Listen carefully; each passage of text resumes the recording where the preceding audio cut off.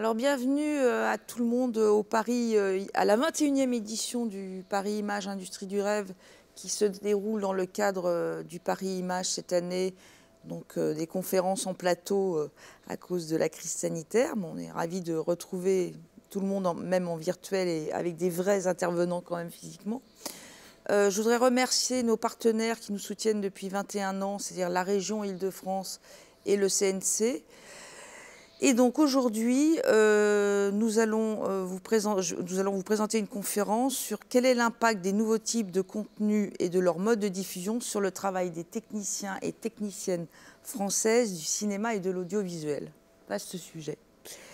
Alors, en introduction rapidement, euh, cette thématique, nous l'avons choisie en regard de la situation des techniciens un an après l'enquête nationale que nous avons menée l'année dernière lors de la 20e édition, notamment sur un phénomène qui est amorcé depuis quelques années, qui voit l'explosion des plateformes numériques et de la VOD, mouvement qui a été fortement accéléré par la crise du Covid-19.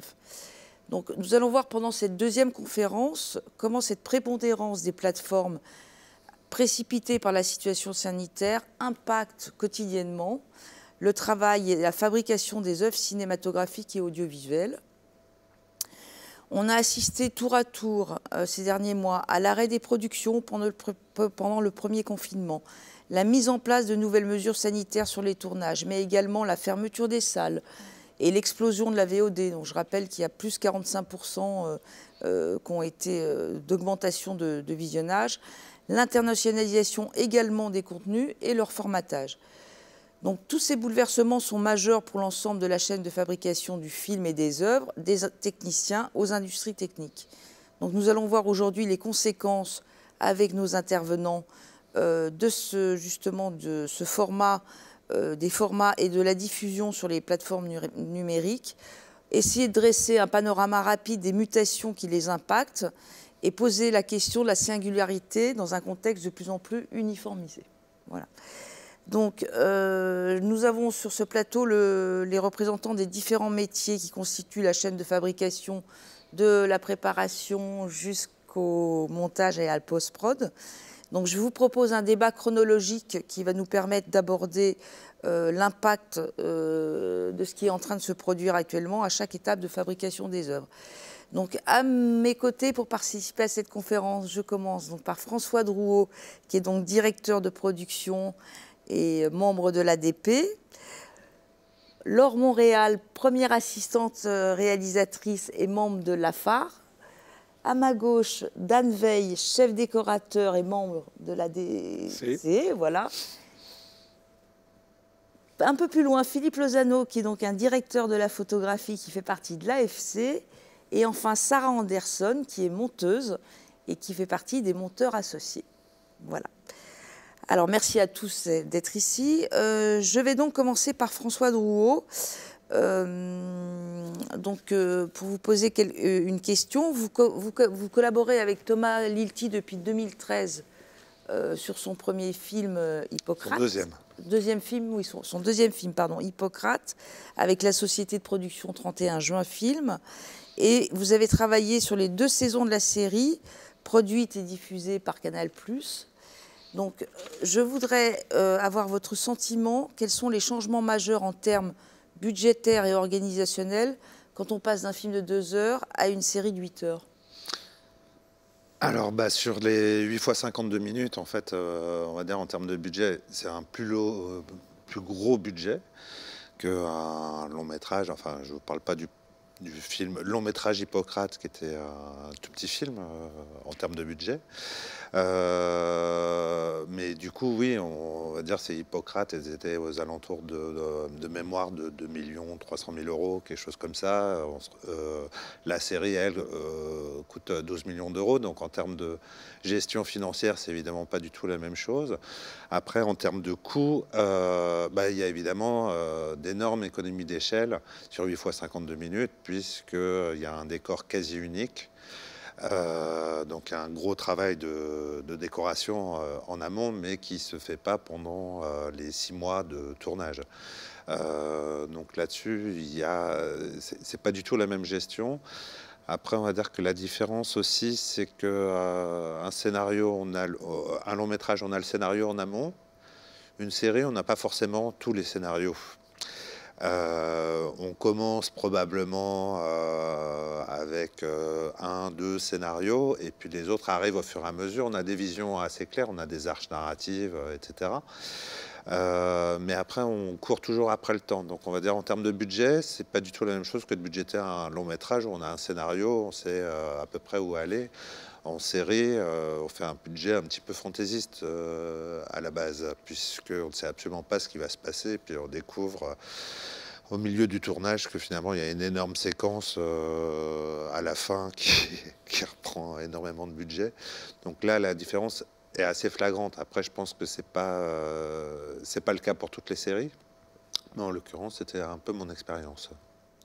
Et alors, sur euh, que, vous demandent les producteurs par rapport quand ils font leur long métrage, par rapport à la série, est-ce qu'il y a des normes qui sont, par exemple, imposées par les par la chaîne de diffusion euh, que vous ressentez, vous, euh, dans votre travail de... Moi, je ne suis pas sûr de ressentir ça. Alors peut-être que euh, Hippocrate, c'était le passage donc, en série aussi d'un réalisateur, aussi de producteur. Euh, qu'aucun de nous n'avait fait de, vraiment de télévision en termes de série et que la demande de Canal+, c'était aussi de faire appel à un réalisateur de long métrage. Hein donc euh, de le faire aussi avec une qualité long métrage. Donc on n'a pas eu une pression, on a eu beaucoup de liberté en fait euh, pour euh, réaliser cette série. On va dire peut-être que la demande sera peut-être de ne pas avoir que des inconnus dans le casting. Voilà, ça ce sera un peu la, demande de, de Canal+. Ou d'avoir un peu un regard sur le casting assez important. Euh, sinon, moi, la demande des producteurs, c'était dans la mesure, on faisait 8 fois 52 minutes avec le même réalisateur et très globalement avec la même équipe technique, c'était euh, d'avoir euh, une bienveillance naturelle à, l'encontre de, vers tous les techniciens, dans la mesure où il fallait que tout le monde aille jusqu'au bout, sachant que c'était 6 mois de tournage. 6 mois de tournage pour la deuxième saison oui, euh, six mois de tournage qui ont été un peu, euh, je crois que c'est 126 jours de tournage répartis sur euh, de janvier à novembre. Alors, est-ce que vous pouvez nous faire un retour d'expérience, parce que vous avez vraiment connu ça, de, la crise du Covid, de la crise sanitaire en pleine saison 2 quoi. Comment, comment ça se gère en termes de, justement, de direction de production, les arrêts, les, voilà, bah. Comment les techniciens réagissent aussi euh, euh, bah Là, j'ai l'impression qu'on a tous été face à, quelque chose de complètement inédit. Donc, euh, on va dire tous, on s'est retrouvés face à une. Bah, déjà, au mois de mars, de, prendre la décision d'arrêter le tournage. avant même, on, sentait bien qu'elle allait avoir un confinement, mais je crois qu'on on a tous arrêté euh, les tournages le dimanche euh, euh, avant le mardi qui a, suivi qui a, donné lieu au confinement. Et bah, déjà, c'était cette prise de décision-là qui était quand même pas si évidente. Puis aussi la peur, en fait, hein, simplement de contaminer toute une équipe. Un plateau, c'est évidemment très compliqué en termes de gestion de protocoles sanitaires, puisque les comédiens sont non masqués, les figurants non plus etc. Euh, donc après, c'était une année assez particulière. On a appris euh, bah, ce qu'on n'avait jamais fait, nous, en direction de production. Euh, on est en production, c'était de mettre au chômage partiel des gens. et puis, au moment où il a fallu reprendre le tournage, c'était la mise en place des protocoles sanitaires. Ça, c'était assez euh, nouveau. Il y avait des textes du CCH-CCT qui existaient, mais qui n'étaient pas extrêmement précis par corps de métier, donc il a fallu le réinventer. C'était aussi passionnant parce que ça a donné lieu à des réunions euh, sur Zoom avec euh, l'ensemble, avec chaque équipe technique. Et à la limite, moi, j'ai presque découvert très concrètement le métier de chacun, puisque euh, chaque personne me disait oui, il faudrait faire ça, ça, ça, ça et ça euh, pour appliquer ces, protocoles sanitaires. Et euh, après, on avait cette chance d'être dans un décor quasi unique, d'avoir un bâtiment de 9000 m2, donc très quasiment en situation studio. ce bâtiment étant dans un hôpital public, donc avec des possibilités de d'avoir du soutien de l'hôpital, ou voire de nous apporter le soutien, puisqu'on leur a, on leur a donné du matériel pendant, le, pendant la crise. Euh, et après, c'est aussi la transformation du métier de directeur de production un peu en CRS, puisqu'il euh, il y a l'application euh, des mesures barrières que tout le monde ne comprend pas forcément. On a pu me dire, mais si tu veux, je te signe une décharge de responsabilité. Ben, je, enfin, je crois que ma responsabilité est globale, même si tu me signes n'importe quel papier. Donc c'est plutôt en termes de responsabilité par rapport au métier de directeur de production, comme n'importe quel employeur en fait, hein, euh, en France. Hein, euh, c'est de se dire que voilà, on peut être attaqué si, euh, si on n'a pas mis en place les, les protocoles sanitaires adéquats et évidemment la peur de l'arrêt d'un tournage. Ce qui n'a pas, ce qui est évidemment arrivé, hein, puisque à peu près comme, comme tout le monde, hein, au mois de novembre, on a à peu près, on a arrêté le tournage. Euh, il nous restait six jours de tournage et un acteur euh, a eu des signes euh, positifs et il s'avérait être positif. donc on a dû attendre une dizaine de jours pour reprendre le tournage, pour finir les deux jours de tournage qu'on qui nous restait encore à faire, puisqu'on avait pu en faire quatre sans lui.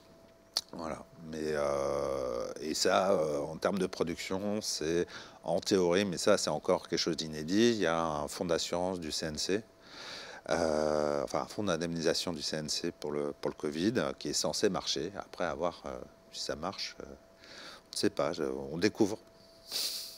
Mais euh, du coup, quand vous, vous, dites que vous vous êtes transformé en, CRS, je veux dire, ça impacte aussi forcément votre métier de base, c'est-à-dire euh, la direction de production. Euh, avec... Bah après, on, a toujours ce, ce, petit côté flic à avoir, etc. Après, c'était pas, je suis pas sûr que quand on est directeur de production, on fait ce métier pour faire ça. Euh, donc euh, oui, ça a un impact, surtout que parfois on demande beaucoup aux gens, euh, etc.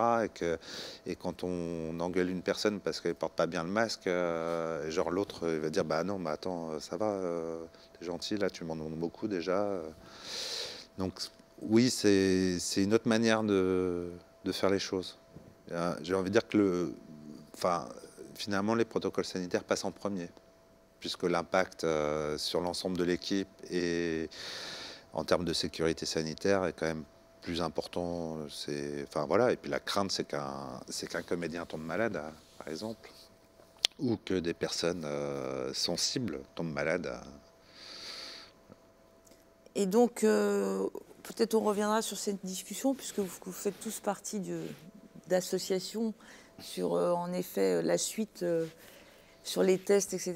Parce que je crois qu'il y a des débats hein, dans toutes les, associations mhm. sur est-ce qu'il faut euh, continuer à tester, faire des tests massifs ou ça sert à rien. Enfin voilà, il y, a, toute cette question dans, les mois à venir, puisqu'on voit bien que cette crise, malheureusement, ne va pas se, stopper euh, comme ça. Mais apparemment, vous aviez aussi un, débat euh, à l'association des directeurs de production sur les... Oui, il y a un peu après, moi j'ai envie de dire ça dépend un petit peu de la situation épidémiologique euh, du moment. C'est-à-dire qu'on a vu sur un an que ce euh, c'était pas du tout pareil au mois de juin qu'au mois de novembre. Hein. C'est-à-dire qu'au euh, bout d'un moment, nous en tant que directeur de prod, on va, on va quand même tester notamment des figurants, des comédiens. Si on se retrouve dans un décor extrêmement confiné, difficilement aéré, etc., on va, en priorité, on va se dire que c'est bien, surtout si on a une grosse scène avec 70, euh, 80 figurants, euh, bah là, on va les, on va les tester. Mais j'imagine qu'il y a un impact quand même budgétaire. Est-ce que ça augmente considérablement ou à la marge le budget en fait du film ou de la série quoi? Si, ça augmente. Euh, si, si, ça, augmente. en l'occurrence, nous, c'est 7%, on va dire. Ah oui, quand même.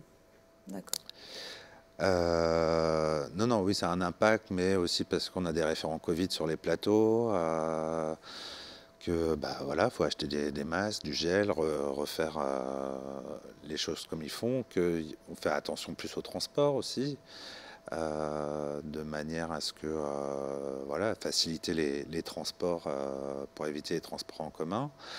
Euh, oui, ça, a un impact financier euh, extrêmement important. On reviendra sur les perspectives de votre métier après. Donc, Laure, je passe à, je passe à vous. donc, vous, êtes, vous avez travaillé, donc vous êtes première assistante réalisatrice ou première assistante mise en scène, selon Oui. Voilà. donc, le travail, la cheville ouvrière du plateau, on va dire, d'un côté, la production avec le directeur de production et vous, euh, donc avec euh, le réalisateur et les, équipes sur le plateau. Euh, vous avez travaillé aussi bien en série qu'en long métrage.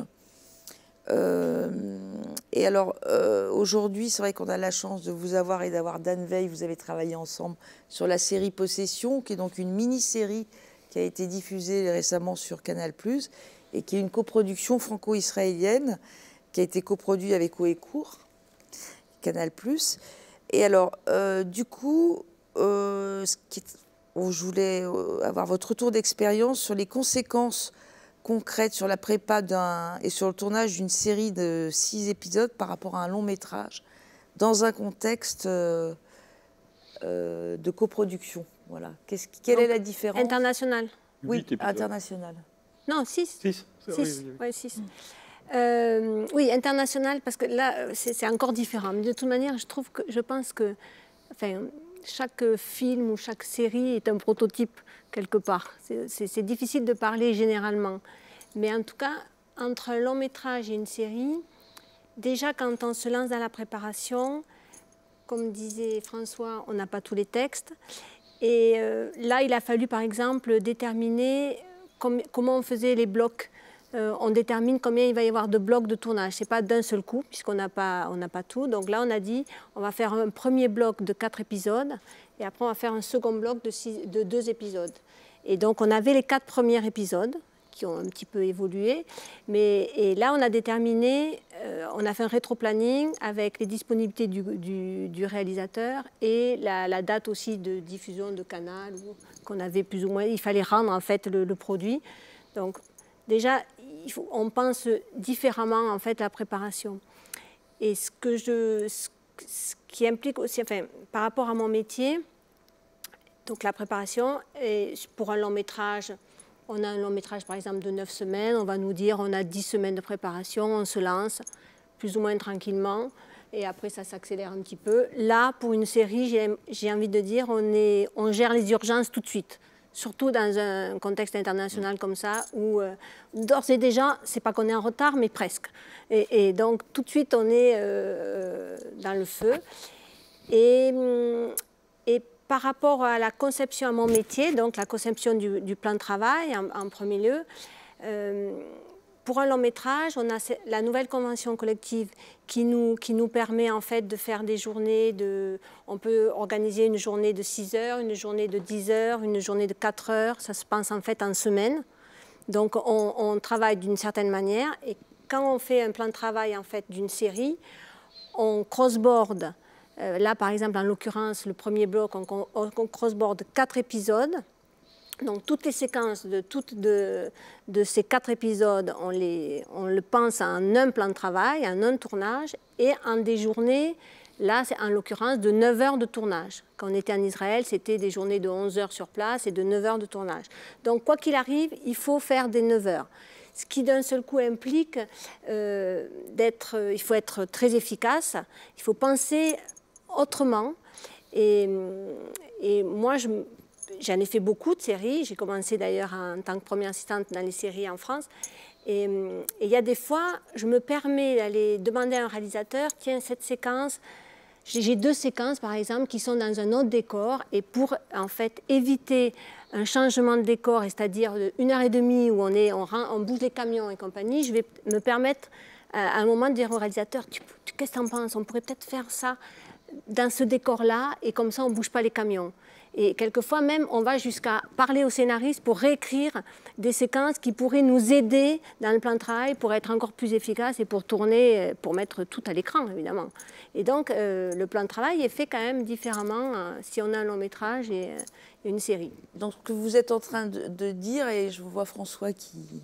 Ah c'est que d'une certaine façon, vous, vous avez la possibilité, là, d'avoir une influence sur le scénario oui. On va y aller tranquillement. Hein. Oui, mais euh, c'est pas le cas influence, influence. Non, mais par exemple, non, mais euh, oh, c'est vrai que Enfin, voilà. Et après, il faut le faire. Quelquefois, ça se fait aussi en repérage. On fait un premier plan de travail. Et... Pareil sur un long métrage. euh, Oui. Euh, Pareil sur un long métrage, il y a un décor à un moment qui est à l'autre bout du monde et que c'est compliqué pour tout le monde, on va essayer de le caser où Oui. techniquement c'est possible pour la production. mais ça sera, ça sera moins a peut-être- facile. Peut-être la pression est différente en série où euh, on est pressé plus par le temps et du coup on a besoin de plus d'efficacité. Exactement. Et euh, bah, du coup, euh, si on a Mais trois séquences dans La même nouvelle convention, la justement, nous, nous, nous, nous permet de faire des journées de 6 heures ou des journées de 4 heures et du coup de ne pas faire un, un changement. Et le- on n'a plus de souplesse, en fait, avec un plan de travail dans C'est un une long métrage. comparaison entre un système français et un système israélien. Donc, de toute façon, c'est deux problèmes différents. Il y a un problème qui est. Enfin, il n'y a pas un problème, mais il y a une façon de travailler en France et il y a une façon de travailler dans plein de pays différents. Euh, si tu es aux États-Unis, c'est 12 heures de tournage. Si c'est en Israël, c'est 11 heures, moins 2 heures de transport, donc 9. Chaque pays a ses conventions, ses habitudes. Donc, il y a- il y a deux problèmes un peu différents qui sont t'adapter ou s'adapter au pays euh, d'accueil Ouais. et il y a le- la- notre façon française de travailler qui est un peu différente. Mais ce n'est pas parce que c'est une série que c'est différent, c'est parce que c'était en Israël que c'était différent. En France, tu aurais pu adapter cette même, euh, Méthode, oui. cette même méthode. Et là, en l'occurrence, on parlait en général de. Oui. Voilà. Et après, on rentre dans Mais le. est-ce que ce n'est pas une différence plus liée au changement de pays que liée à la, télé, à la série par, euh, versus... Ce que je viens de dire? Oui, Non. Versus euh, film, c'est-à-dire euh, Ouais, ouais. série ou film. Pas sur, le, pas sur les choix de euh, la rentabilité de, de crossboard, etc. Elle est beaucoup plus importante en série qu'en long métrage. Oui. Voilà. Sur la Et convention. puis, les, collective. les- oui. On a plus de. Enfin, bon, voilà.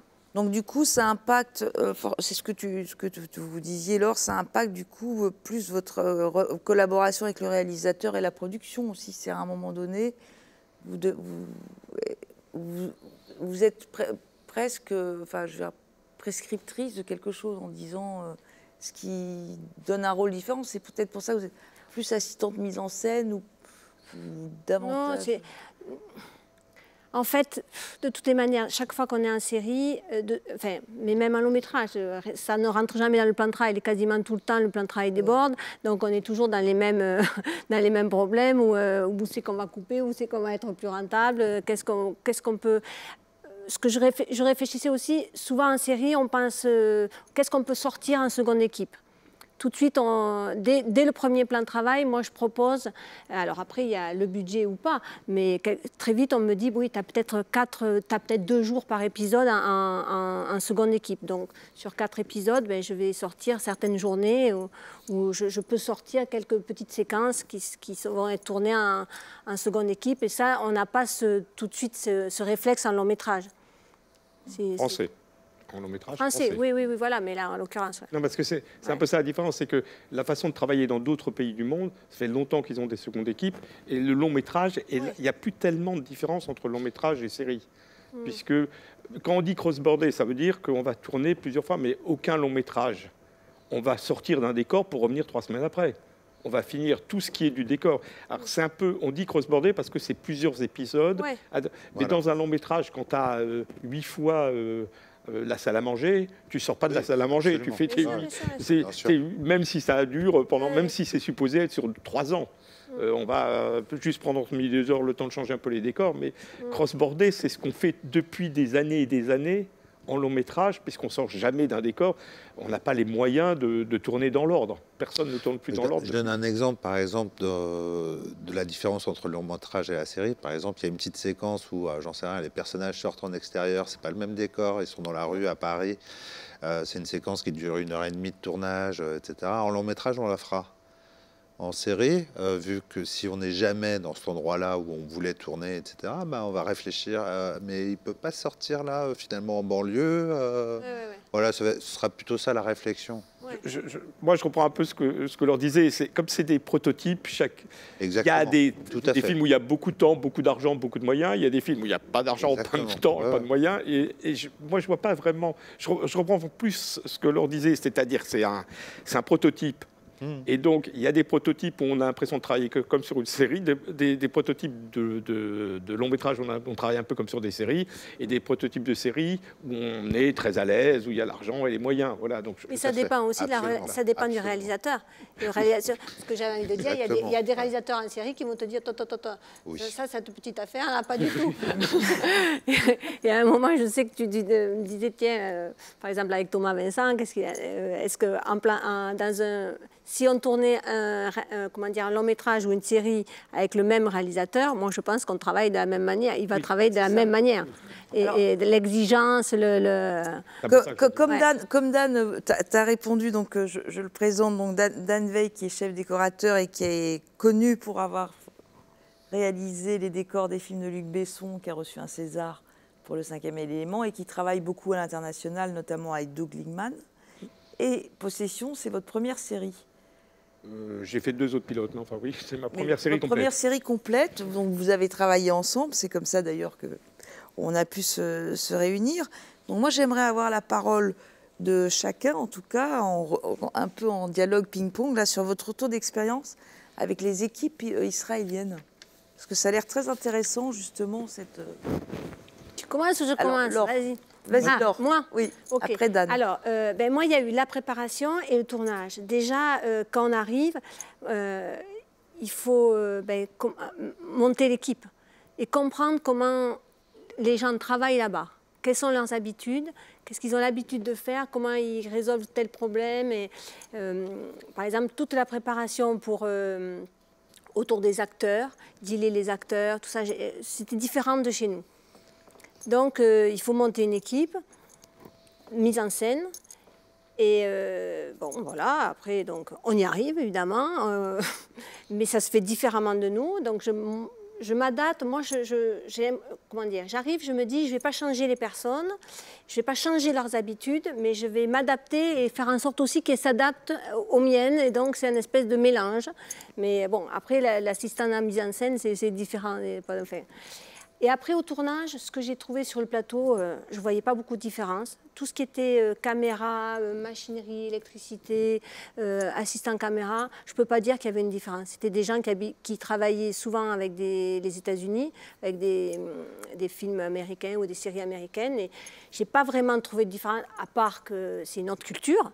Mais euh, par, contre, la différence, euh, là où ça a été plus compliqué pour mon assistante moi, parce que j'avais une seconde assistante française, parce qu'on avait beaucoup d'acteurs français, on avait une quinzaine d'acteurs français, euh, au maquillage, coiffure, habillage.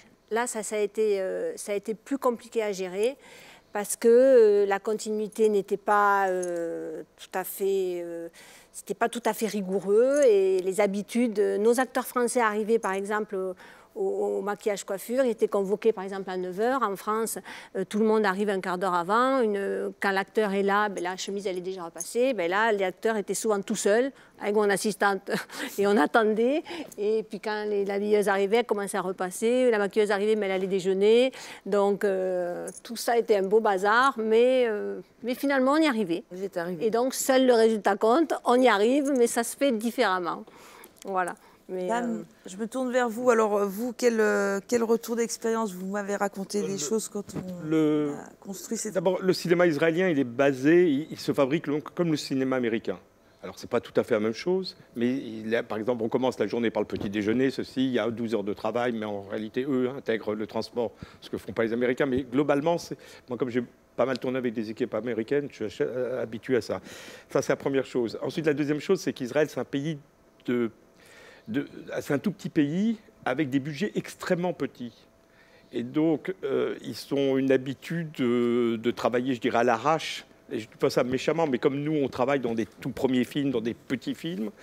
Mais sauf que eux, presque toute leur industrie est comme ça. Donc il y a beaucoup de moments où c'est tout, ça suffit. C'est-à-dire qu'on trouve un, appartement, c'est un truc avec euh, des portes, des fenêtres et puis euh, un plafond. Donc n'importe quel appartement fait, ça va, puisqu'il est là, il est prêt, il est à côté, on, y va. ça, c'était un peu, euh, c'est un peu différent. C'est-à-dire qu'ils ont, la décoration, c'est assez différent parce que pratiquement ils construisent jamais, donc ils n'ont pas l'habitude de construction. Ils font que de l'aménagement. C'est des films d'aménagement. Tous les films qu'on connaît, qu'on a vus, qu'on a aimés euh, israéliens, c'est pratiquement toujours des films d'aménagement. Il n'y a pratiquement pas de construction. Donc les équipes déco, c'est un peu différent.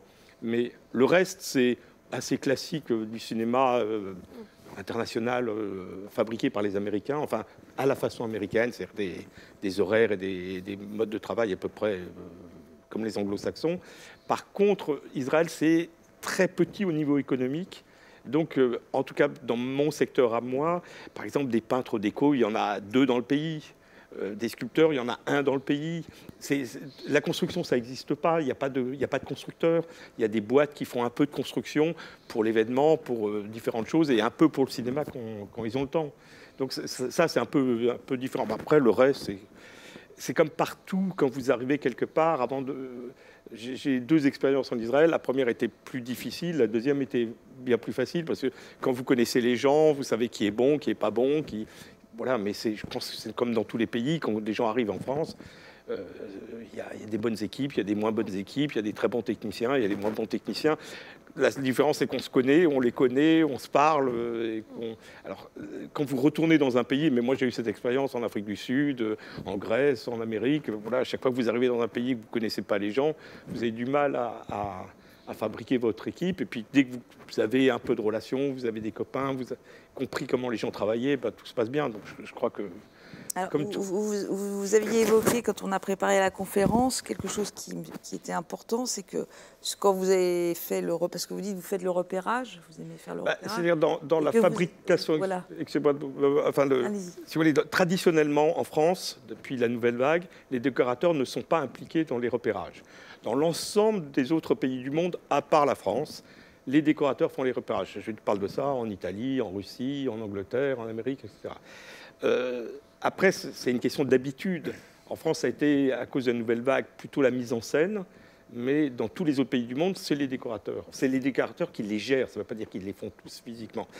Euh, Thomas Vincent, lui, il a fait quelques films en anglais à l'étranger. Donc lui aussi, pour lui, c'est normal que ça soit le décorateur, en l'occurrence moi, qui m'occupait des repérages. Donc moi, la première chose que je fais sur un film, c'est repérer.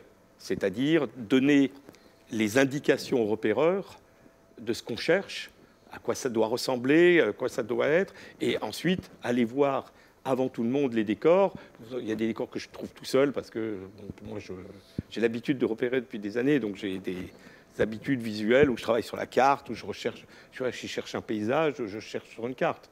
Euh, il, y a, beaucoup de les, les, nouvelles technologies ont aidé, beaucoup parce que vous avez euh, Google Maps, vous avez plein de, plein de logiciels qui permettent de voir des images, des photos, etc. Donc ça, c'est un peu comme euh, dans, tous les pays de type anglo-saxon, c'est comme ça que ça marche. Et même dans d'autres pays européens, à part la France. Donc ça, ça a été la, première chose que j'ai faite en arrivant en Israël, c'est de, faire les repérages. Et c'est intéressant parce que ça me, ça me donne beaucoup de feedback. Ça veut dire que se rendre compte de ce que c'est la société, à quoi ressemblent les restaurants, à quoi ressemblent les appartements, est-ce qu'il y a tellement de différences? Ça veut dire que, si vous voulez, pour nous, par exemple, si on dit on cherche un haussmanien, c'est clair pour nous tous ici. Mais quand vous dites en Israël, vous cherchez un appartement 70, c'est pas forcément la même chose. Eux, ils, appellent, je sais pas, Baos. Eux, ils trouvent ça très beau. Nous, on trouve que c'est des HLM euh, des années 70 ou des années 50 euh, médiocres. Mais pour eux, ça semble être formidable. Donc, il y a culturellement un moment où vous devez rattraper un peu, mais dans tous les pays du monde, hein, c'est pas lié à Israël. Euh, donc j'ai commencé par faire les repérages qui m'a permis en fait, de, de me nourrir et d'apporter des éléments euh, artistiques au mettant en scène et, ensuite à cette production. D'accord. Et euh, le fait, euh, le format 6 heures, qui finalement c'est une mini-série, 6 heures ça pourrait être un film aussi, il y a des films de long métrage qui duraient 6 heures. Quelle est la différence pour vous en termes de... Quel impact? Pour moi, aucune. Aucune. Aucune différence parce que c'est autant... c'est la même chose que de faire un gros film ou un petit film il y a des tas de films où on fait. Euh, ça, dépend du scénario. C'est-à-dire, il y a des, films où on passe. Euh, dans cette série-là, ils ont un, décor euh, dans lequel ils, passent. Vous avez passé quoi Deux semaines Trois semaines? Dans le, décor unique. Euh, à Aulnay À Aulnay, on a passé 20 euh, semaines. Voilà, c'est énorme. 25, pardon. Et, sur tous les longs métrages, on se pose euh, les mêmes questions. Long métrage ou série, on se pose la même question. Si on doit passer trois semaines dans un décor, d'abord on va être en studio, on va s'installer, ça va être formidable et ça va être, je dis pas reposant, mais calme. Et il y a d'autres longs métrages comme des séries où on fait trois décors par jour. Et donc, euh, je descends la caméra, je remonte la caméra, je descends la caméra, je remonte la caméra. Bon, pour les assistants, c'est un enfer. Nous, on, nous, on prépare un décor, euh, on en prépare un autre à côté, on le démonte euh, dès qu'ils ont fini de tourner. Enfin, ça fait des journées très longues. Il n'y a pas vraiment de différence pour moi, entre série et long métrage à ce niveau-là. La préparation que j'ai sur une série ou sur un long métrage, c'est la même chose. C'est-à-dire, je fais un dépouillement. Évidemment, c'est différent si je ne connais pas tous les décors, mais là, on avait Quatre, euh, quatre, épisodes sur six, donc on avait les trois quarts des décors. On fait un dépouillement, on cherche les décors, et puis l'approche, elle est la même. Elle n'est pas euh, quelque part en décoration. Quand vous préparez un décor, quand vous le préparez pour une heure ou pour trois semaines, c'est pratiquement le même prix. C'est un peu différent parce que vous gardez les choses plus longtemps et vous auriez tendance à acheter. On est un peu pris par le temps quand même. Pardon On a moins de temps de préparation. Là, on a, par exemple, là, il a fallu reculer quasiment comme tout le temps. On a reculé à la date du tournage. Oui, mais c'est plus euh, parce que c'est des problèmes, je dirais, de production qui espèrent qu'on va préparer en trois semaines, alors que tout le monde, que le jour où on est arrivé tous les deux, on savait que ça ne serait pas possible. On est, après, c'est, mais je pense qu'il y a aussi des films où on te dit euh, allez tu vas le préparer en un mois et ça va ça va le faire. Plus récurrent en série que l'on qu'on retourne qu'on recule la date de tournage qu'un long métrage. Je, je, crois que c'est un problème de budget. Oui, quelle est, la, la différence fondamentale alors c'est un, problème de budget? Oui, c'est un problème de budget, mais je pense que c'est pour ça que je compare un, un, long métrage avec un très petit budget ou un long métrage avec euh, ou, ou, une série avec un budget euh, petit aussi mais il y a quelque part, et je reprends ce que tu disais, c'est que quand on a un décor récurrent, euh, on peut mettre plus d'argent dans ce décor que sur un long métrage. Euh, c'est vrai que voilà, c'est un problème de budget. Il y a des séries avec des beaux budgets où les gens travaillent correctement. Et il y a des, séries euh, ou, des longs ou des longs métrages où il n'y a pas d'argent et on, fait à l'arrache. On se débrouille, on bricole, on, on essaye.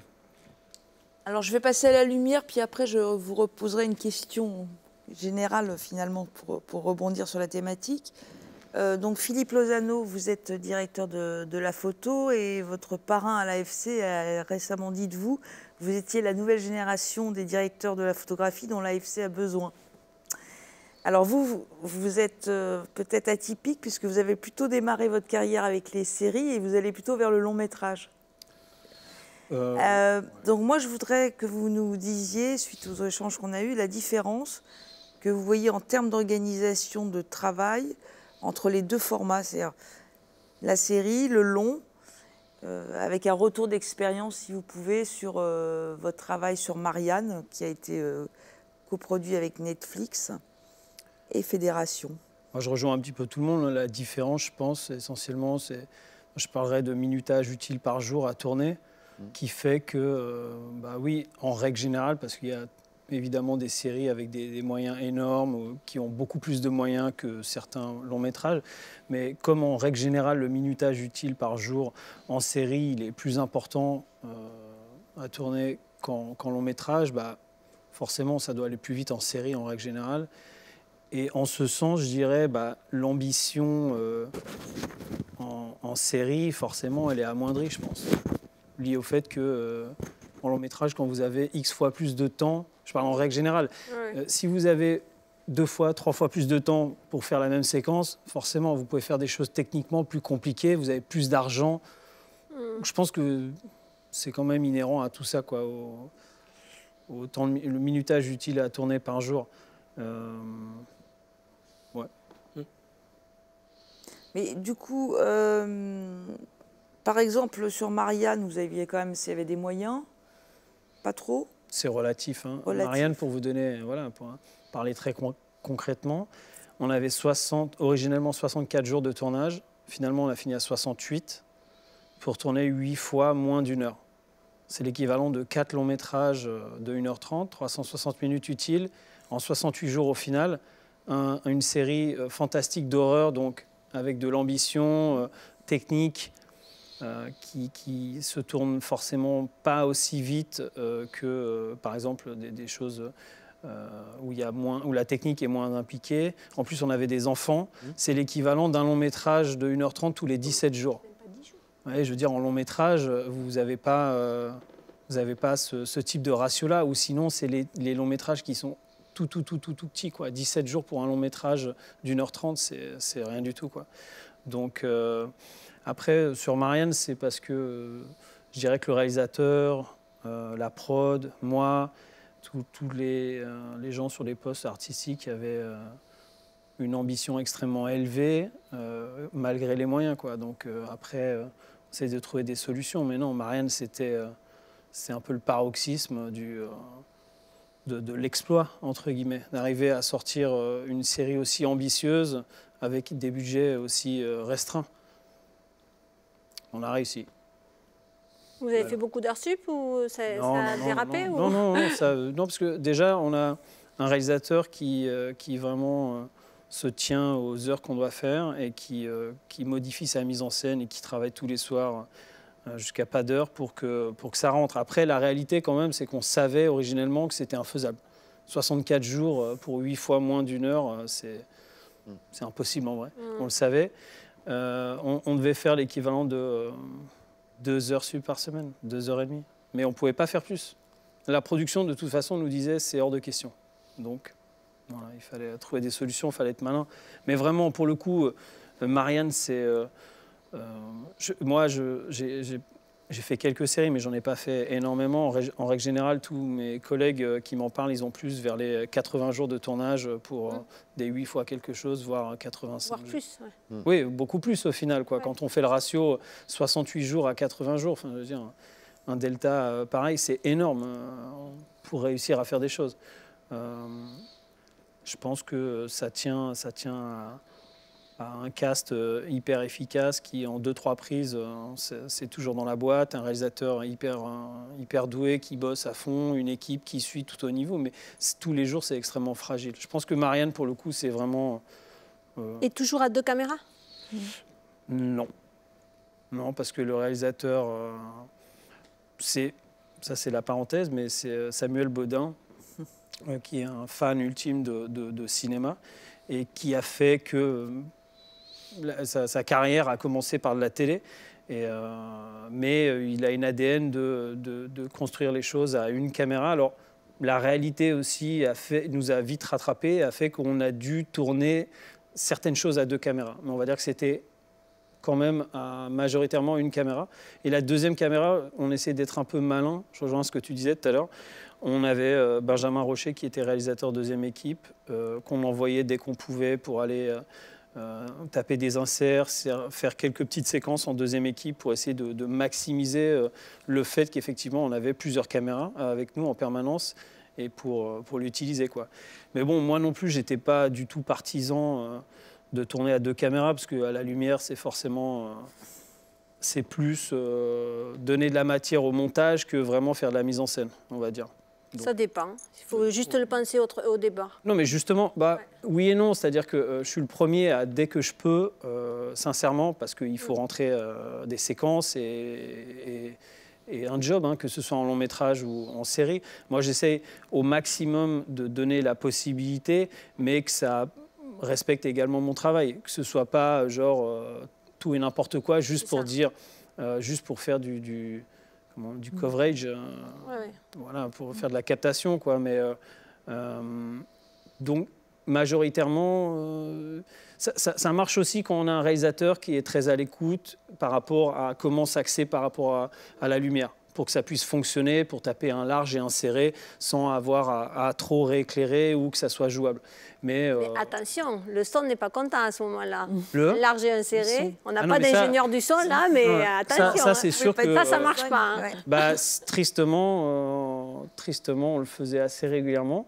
On faisait un petit trick qui était rigolo, c'est euh, on, faisait, on essayait des fois de faire un large fixe et il rentrait dans le champ et après on faisait une plate et il sortait. Bon. Mm des choses comme ça pour, pour, pour effacer la perche. Hein. C'est sûr mais on ne peut pas gagner euh, tous les combats. Donc, euh, à un moment donné, il y a la réalité du temps, l'économie, et puis donner aussi la matière quand même à ce que euh, ce ne soit pas genre que pour la photo, que pour la mise en scène, etc. Mais ouais. On va passer. merci Philippe. je reviendrai en vous posant une question après à tous pour conclure. Sarah Anderson, donc vous êtes monteuse euh, et vous avez aussi bien d'ailleurs monté des longs que des séries. Là, vous avez monté plusieurs séries pour Netflix. Canal, puisque Baron Noir, Engrenage, Versailles. alors, moi, je voudrais que vous nous disiez quand même quelles sont pour vous, en tant que monteuse, les différences entre les deux formats pour votre métier et surtout la collaboration, on va dire, de réalisateur-monteur qui est très importante, comment elle s'est transformée, puisqu'en discutant, pour préparer la conférence, vous m'avez dit qu'il y avait maintenant 7-8 personnes qui visionnaient les rushs. Voilà, donc est-ce que vous pouvez nous parler un ça, peu de la, votre la grosse euh, différence euh, dans l'approche. Euh, le cinéma, il est porté par un réalisateur. En série, c'est souvent donc bon, un réalisateur, mais maintenant on entend parler aussi des showrunners. Les, la, la, chaîne ou la plateforme est aussi très présente. Enfin, ça, donc la, la, production. Donc ça fait quand même un microcosme à, à gérer, à retrouver des équilibres pour pour que, pour que tout le monde fasse le même projet, la même fiction. Et donc ça, c'est alors qu'en cinéma, on a une relation assez privilégiée avec un réalisateur. Certes, des fois, il y a aussi la, production, mais ça reste encore dans des schémas un peu connus, producteur, réalisateur, euh, distributeur. Là, arrive le, showrunner aussi, euh, un, nouveau poste qui se cherche, qui, qui, et qui est présent aussi au montage. Quoi. Donc il faut, faut faire avec ce nouveau... Euh, voilà, cet nouvel équilibre à, trouver entre tous ces interlocuteurs et le monteur étant la personne qui, lui, est toujours là à, faire le lien avec tous ces regards différents sur, sur la fiction qu'on est en train de faire. Alors, du coup, qui décide du final cut? Ben Ça, c'est à, souvent en série, c'est quand même au final la chaîne ou la plateforme qui aura le dernier mot, mais après au réalisateur de se positionner pour, que lui puisse défendre son travail, sa vision le plus longtemps possible. Euh, après, voilà, il y a des, on commence à avoir ce, poste de showrunner qui est souvent par des scénaristes, euh, qui a été pris en France par le, le enseignement les scénaristes. Donc trouver les équilibres entre eux, ils ont conçu la chose à l'écrit, mais est-ce qu'ils ont aussi la vision euh, une fois que, c'est tourné tout simplement et de pas forcément coller toujours au texte? Enfin, c'est des enjeux à trouver euh, au montage. Ça. Et nous, la différence, par exemple, en montage, parce que c'était quand même une profession, on était assez seuls, la série a amené le fait qu'on puisse souvent travailler en binôme. Euh, on est souvent deux monteurs, voire trois monteurs pour une même série. Ça, ça permet aussi beaucoup d'échanges, alors que c'était des, métiers où on était plutôt seuls. Euh, la présence d'un assistant en cinéma, elle n'est pas toujours euh, euh, prise en compte sur toute la durée du montage. Là, en série, il est là avant, pendant et après. Donc, c'est des choses qui changent voilà, l'univers de travail dans lequel aussi on, on évolue. Plus un, travail d'équipe en fait. Donc d'une certaine façon, euh, les monteurs associés avaient beaucoup milité pour euh, que les assistants soient mm. présents. C'est la série qui vous permet de... Ben, ça, en tout cas, c'est un lieu de transmission euh, pour, en tout cas pour nous monteurs, où souvent ce poste d'assistant n'était plus là sur toute la durée, et comme se, se posait les questions de comment transmettre le métier à quelqu'un qui ne voit pas toutes les étapes. Là, en série, c'est vraiment euh, un poste clé de la post-production. En fait. Donc c'est très intéressant. Est-ce que je peux te poser une question? Quand il y a plusieurs euh, euh, réalisateurs qui font une, ou mhm. deux une ou deux épisodes, chacun monte le sien alors ça dépend. Alors c'est ça je... il, y a, il y a, alors soit ça se fonctionne en bloc, qui est que le, euh, le, premier bloc ce serait un réalisateur et un, un, ou deux monteurs font le premier bloc. Mais moi il m'est arrivé sur Engrenage de travailler sur le bloc 2 et le bloc 3, donc ça changeait de réalisateur et de faire une continuité. Au départ, les, produc la, les productions aiment l'idée d'avoir une continuité comme le chef-op est souvent le, le même, euh, au montage d'avoir le, le, même les, mêmes, les, les mêmes interlocuteurs c'est pas toujours facile, enfin c'est pas toujours possible après parce que des fois il y a des, dérapages ou mais euh, dans l'idée euh, et oui que les, temps se resserrent donc en fait il est plus facile de rajouter quelqu'un plutôt que la même, la même personne puisse continuer jusqu'au bout les, 6 à 8 épisodes. Euh, mais voilà l'idée c'est d'apporter de la parce que sur le série, la série c'est ça aussi l'enjeu c'est d'amener une continuité quoi. Donc de fait c'est vous qui l'amenez. Avec le showrunner, c'est-à-dire les gens qui restent là tout le temps. C'est voilà, c'est mais tout comme l'image, euh, les acteurs, enfin voilà, c'est tout euh, pour, pour le spectateur. Mais ils ont cette continuité là, l'histoire, les acteurs. Euh, mais c'est vrai que toutes les subtilités, si on change de chef-op, si on change de, de réal, ça voilà. De garder le même univers visuel. exactement. Alors le temps, malheureusement, je vois qu'il nous reste trois minutes. On est pressé, on aurait bien voulu que ça dure deux heures, mais malheureusement pas possible. Donc euh, on va faire le, tour euh, inverse parce que la question qui, se pose, tout ce que vous dites, euh, et ce que disait Philippe aussi, la question de la qualité de son travail. est-ce que ce format, est-ce que la différence entre la série et le long métrage, est-ce qu'il y a un impact sur votre patte personnelle? Sur vous, technicien, vous avez votre singularité, votre patte. Qu'est-ce que ça impacte ce format sur votre créativité, singularité de, moi, je veux dire qu'il faut aller encore plus vite dans sa tête, en fait, tout simplement. Il faut être très réactif. Mais en termes d'investissement, j'ai l'impression d'avoir le même, euh, la même approche et en tout cas l'envie de. de, Enfin, c'est pas, ça ne change pas le. Ça change pas le, la donne, on va dire. Et vous, François? Moi, j'ai envie de dire la même chose, moi. Mm. C'est juste d'aller plus vite, c'est tout. Aller plus vite. Bah, pour euh, d'être réactif. Euh, et puis on va dire que par rapport au long métrage, on, stresse euh, deux, mois avant. En série, on se dit que tant que c'est pas à trois jours près, ça va. Laure, la question, moi, justement, ce que tu disais, le fait qu'à un moment donné, euh, tu puisses peut-être être plus mise en scène dans la... ce que tu euh, proposes Je suis pas, je, je pense pas, enfin, c'est pas tout à fait, comment dire, c'est dans un rôle d'efficacité en fait, d'être, euh, d'être, euh, oui, je sais pas comment dire, oui, d'être plus efficace, euh, de mettre tout à l'image. Donc, mais oui, peut-être que je pourrais me permettre, peut-être que c'est un petit peu plus ouvert à ce moment-là, mais ça dépend des réalisateurs. Il y a des fois tu te permets ou pas. En série, tu peux, tu te permets un tout petit peu plus parce que évidemment on cherche plus. Moi, par rapport à mon métier, j'ai l'impression qu'il faut être encore plus investi et donner encore plus de temps parce qu'en série, euh, le, premier assistant, il travaille tous les week-ends. Mm. Alors le chef décorateur aussi, Dan. Mm. Mais, mais euh, moi, je, en série, les, trois quarts du temps, on, travaille beaucoup plus que... C'est beaucoup plus compliqué à organiser que et dans le temps imparti. Donc chaque fois, je travaille beaucoup plus. Je donne beaucoup plus de mon temps mais on est des gens passionnés, donc euh, moi ça me plaît beaucoup. Moi j'adore les séries. Mm. Et vous, est-ce que ça, du coup, euh, est-ce que votre patte personnelle est pas du moi, tout ça, ça change pas grand-chose, vu que pour nous les minutiles ne comptent pas, puisque un décor il est prêt qu'on y tourne une journée ou trois semaines, c'est pareil. C'est plus les budgets. C'est pas tellement le format c'est le budget. C'est où vous avez les moyens de travailler, de construire, de faire ce que, de changer de décor parce qu'il n'est pas bon, etc. Où vous n'avez pas les moyens et vous faites avec. Et ça, ça arrive aussi bien en série qu'en long métrage. Philippe, vous avez parlé de la qualité de votre travail. Euh, est-ce que votre patte personnelle, quand vous travaillez pour des séries, est toujours présente? Ou est-ce que vous trouvez que dans les longs métrages que vous faites, vous avez plus de possibilités de créativité ou d'amener des choses bah, singulières?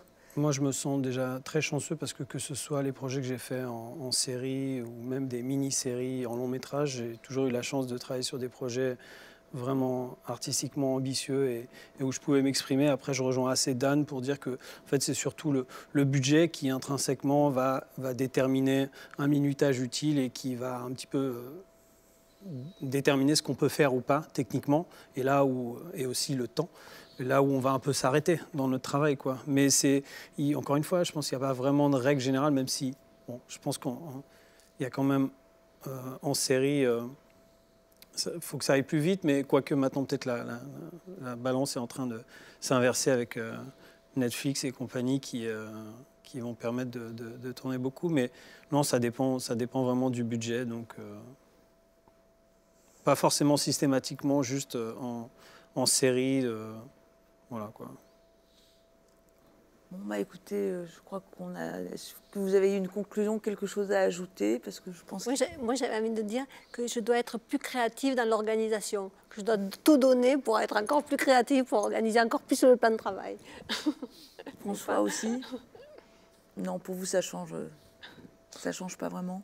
Et est-ce que vous pensez tous, là, collectivement, euh, pour une dernière euh, intervention, que vous allez avoir finalement de plus en plus de boulot en série et parce que l'époque fait que. Bah, L'époque fait qu'en cinéma, c'est incertain. Donc on verra bien. Ouais. Bon, bah écoutez, euh, on va couper. Merci beaucoup en tout cas de, de vos interventions, de, ce, de votre retour d'expérience. Donc euh, bah, je vous dis à l'année prochaine en live, j'espère, physiquement avec un public qui pourra poser des, des questions. Voilà. Merci beaucoup et à l'année prochaine. Merci.